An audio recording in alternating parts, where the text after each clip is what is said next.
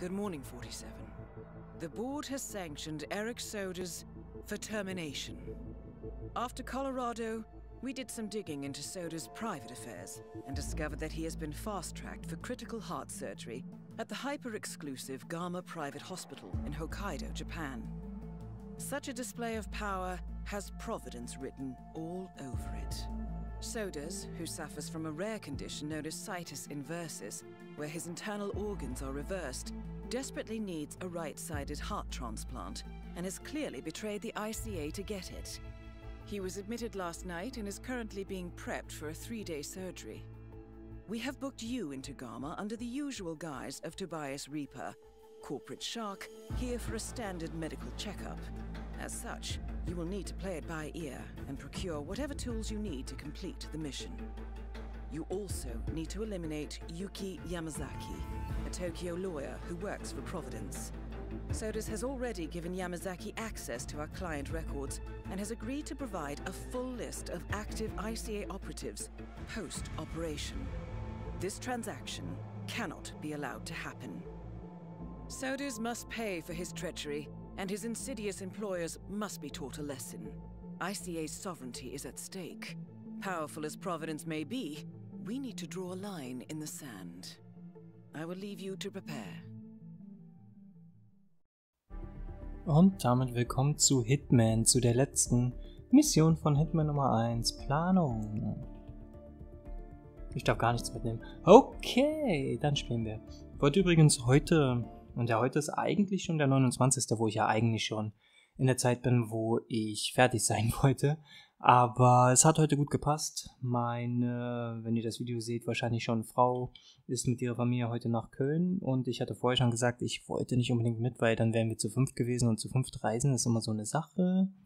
Deswegen bin ich hier und kann dafür heute unter anderem den Rest von Hitman aufnehmen, hoffentlich. Wenn diese Mission nicht so anstrengend wird wie die letzte, ich denke aber nicht, dann sollte alles okay laufen. Bin gespannt.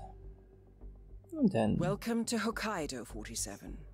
In Hokkaido war ich tatsächlich nicht, hätte ich aber mal Bock drauf. medical treatment for the global elite outside the law if required.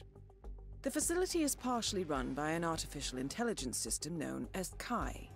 The AI oversees patient admission to various areas in the hospital and even participates in some medical procedures. You will find Eric Sodas in the operating theatre, undergoing a pre surgery regenerative stem cell treatment. A highly controversial procedure, yet to be approved by Japanese authorities. Yuki Yamazaki has already arrived. You'll find her in her suite or roaming the restaurant and spa areas of the hospital. Sodas is scheduled to be put under soon. Let us make sure he stays that way. Good luck, 47.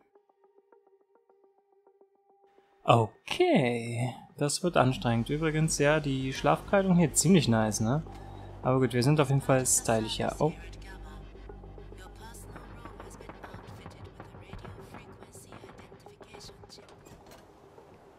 Sieht doch fantastisch aus, oder? Auf jeden Fall hat das was. Ich weiß gar nicht, ob das was bringt, uns hier irgendwo hinzuklettern. Ob das geht, vermutlich schon. Feindliches Gebiet direkt. Okay, man darf hier selbstverständlich nicht hangeln. Wüsste jetzt nicht, ob uns das irgendwas großartig bringt, aber ist doch erstmal wurscht. Wahrscheinlich schon, wenn man da lang hangelt, das sieht schon eher nach was aus, ne? Und dann da drüben ins Zimmer. Boah, jetzt bin ich neugierig, jetzt bin ich neugierig. Das habe ich nämlich noch nie versucht. Geht das?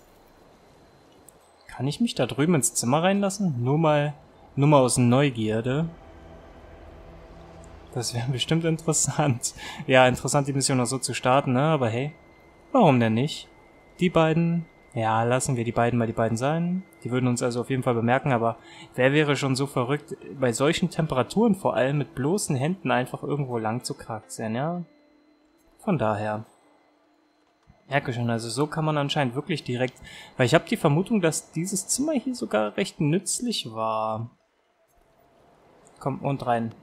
Na, jetzt ist die Frage, ob die Tür auch offen ist. Das wäre natürlich das Wichtigste. Aber wer würde das die Tür abschließen, ne? Schauen wir mal. Ja, was haben wir denn da Schönes? Mensch, hier ist aber eine Menge an Zeug am rumliegen, ne? Was haben wir denn da? Zigarettenpackungen. Boah, wir haben hier einen richtigen Raucher. Richtiges Raucherzimmer. Ist das eine Cowboy-Statue? Ich bin doch der Meinung, genau, dieses Zimmer gehört einem gewissen Cowboy, der wahrscheinlich auch früher oder später hierher kommt. Aber kann ich das eigentlich? Lassen wir liegen, brauchen wir nicht. Aber wobei, ich kann es auch mitnehmen. Stört mich ja nicht in der Tasche. Nehmen wir auch noch mit einer Dose ein Getränk, warum nicht? Dann gehen wir hier wohl erstmal ganz still und heimlich raus.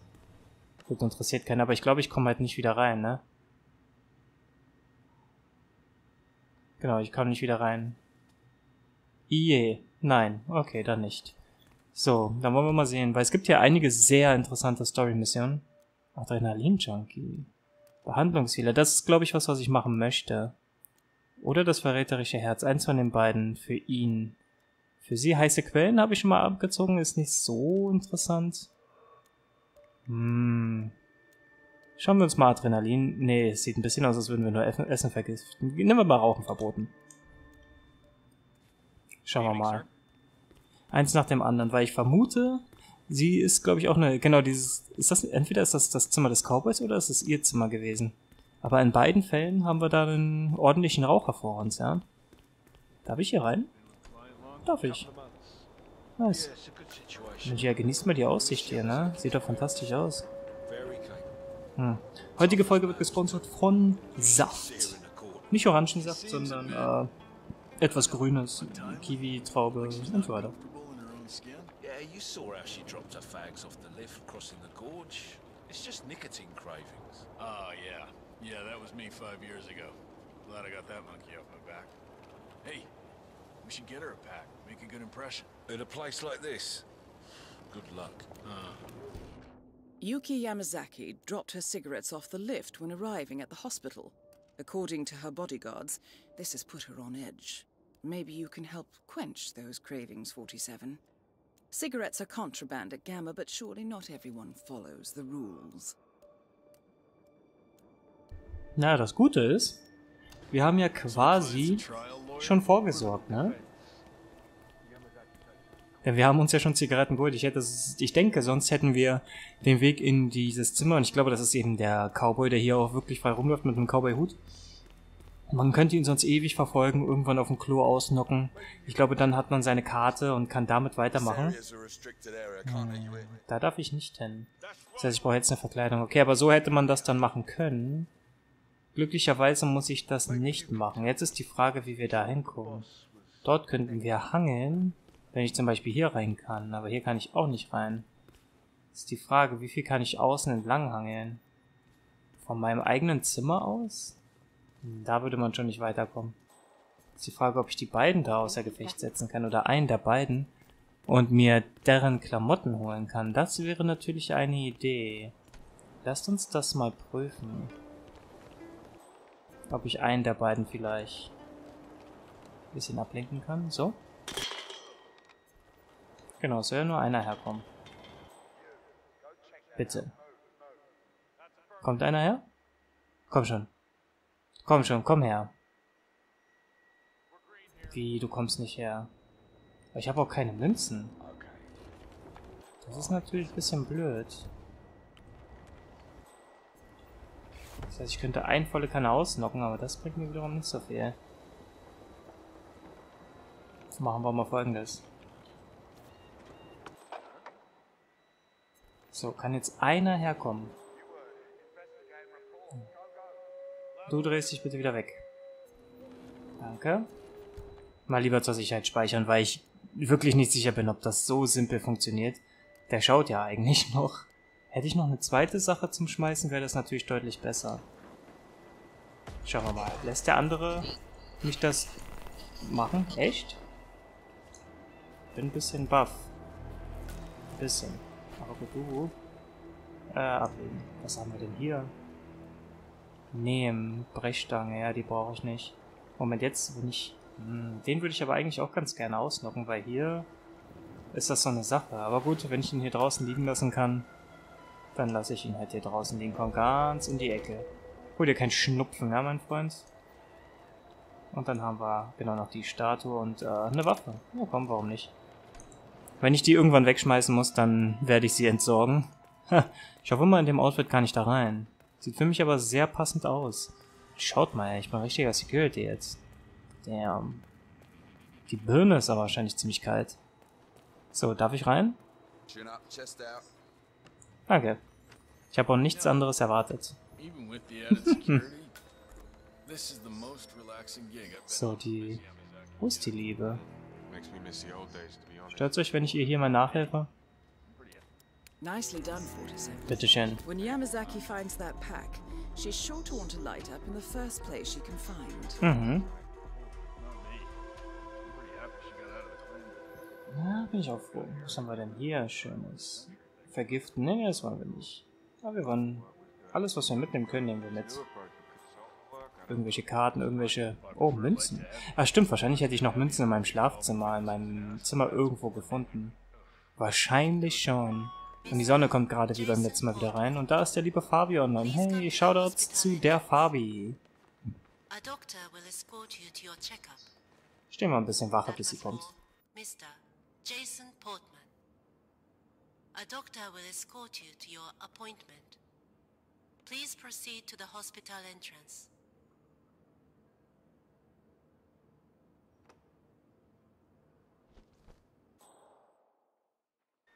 Okay, sie kommt langsam näher und ich falle ihr auf. Das ist natürlich nicht so gut. Denn das heißt, ich muss auf jeden Fall aufpassen, dass sie mich nicht sieht. Jetzt habe ich direkt verkackt. Okay, sie geht von da. Oh, dem falle ich auch auf. That is Yuki Yamazaki, former lawyer to the Yakuza and current operative for Providence. Hoffentlich sieht sie mich nicht. Gut, gut, gut. Dann geh mal eine schmökern. Schmeißt du die anderen raus? Gute Idee. Okay. Gut, das ist dann anscheinend ähnlich wie der Kill, den man bei der heißen Quelle machen kann. Denn da kann man sie auch einfach runterschubsen und ich schätze, das ist das, worauf dieser Kill hinauslaufen wird. Ist nur die Frage, ob das jemand sieht. Bei so Secret ist das ja hier nicht. Oh,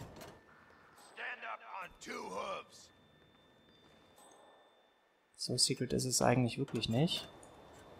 Aber dadurch, dass sie hier steht. Oh. Unfallkill, Körper versteckt. Perfekte Kombination, ne?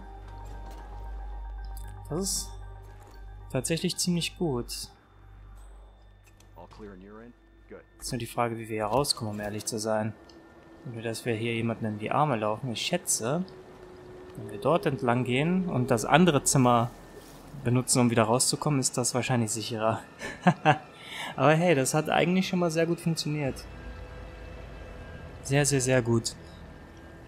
Vor allem sie so einfach, ja, so einfach außer Gefecht zu setzen. Wenn sie jetzt nicht direkt gestorben wäre, wäre das natürlich eher das Problem. Wenn sie jetzt noch schreien würde, aus Schmerzen da unten liegen würde, das kann durchaus sein, ne? Weil ich meine, es ist Schnee, klar, darunter sind Steine, ja, versteht mich nicht falsch. Aber es könnte durchaus sein, dass man diesen Sturz vielleicht überlebt, kann ich mir vorstellen. Ich meine, schaut mal, aus welchen Höhen Snake in Metal Gear Solid 3. Ja, gut, er ist ins Wasser gefallen, okay? Aber trotzdem, ihr wisst, was ich meine. Von daher, Glück gehabt, würde ich sagen. Also für uns anscheinend. So, jetzt geht jemand mal gucken nach ihr. Und dann wird bemerkt, dass sie gar nicht mehr da ist. Tja, die wird schon wiederkommen. Macht euch da mal keine Sorgen. Oder eben auch nicht. Was ist das Schlimmste, was passieren kann? Ihr seid euren Job los, aber hey. Oh, ist das hier mein Zimmer? Oder ist das hier das Zimmer von einem gewissen Modefetischisten oder einem gewissen Laufstegmodel, ja? Oder einem Fan davon? Interessant auf jeden Fall. Und hätten wir einen Dietrich, könnten wir das Ding knacken. Ja. Haben wir nicht, aber ist ja wohl auch erstmal egal. Von daher raus. Übrigens, es gibt tatsächlich japanische Hotelzimmer, die so aussehen. Ich hatte eins in Sado in diesem Stil. Das war echt fantastisch. Ich glaube, ich habe ein paar Bilder mal im Discord auch geteilt. Aber gut, ich würde hier nach dem ersten Ziel einen Cut machen. Und weiter geht's dann hoffentlich mit dem letzten Teil dieser Playlist im nächsten Video. Ich danke euch fürs Zuschauen. Bis zum nächsten Mal. Bis dahin. Und bis dahin.